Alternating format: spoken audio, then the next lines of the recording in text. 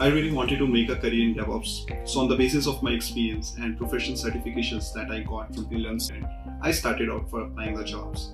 And I'm glad to share you that I have joined a new organization with around 320% of salary hike.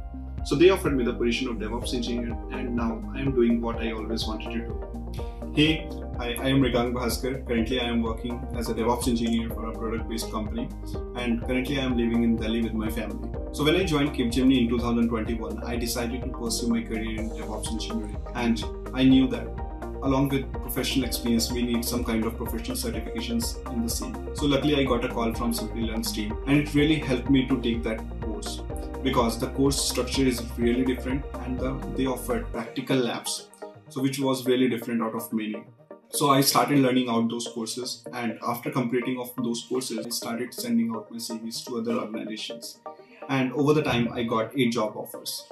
So I knew what happens happens for the good. So I'm really happy to be a part of Huge DevOps team where we are working around all the cloud native technologies. So the course content is really well. What I like the most, they provide live examples, they provide practical labs and real world problems. So uh, the content they have decided from Git to all the way of Kubernetes is really outstanding.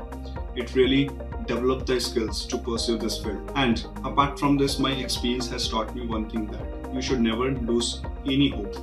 And for that, I keep myself motivated by exploring new places and also reading motivational books. So yeah, what happens happens for the good. You never know when the opportunity knock at your door. So you should be fully prepared to make out of it.